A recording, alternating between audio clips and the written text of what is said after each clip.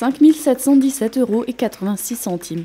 C'est le montant du chèque qui a été remis à la Ligue contre le cancer par le basket club du pays de Beach.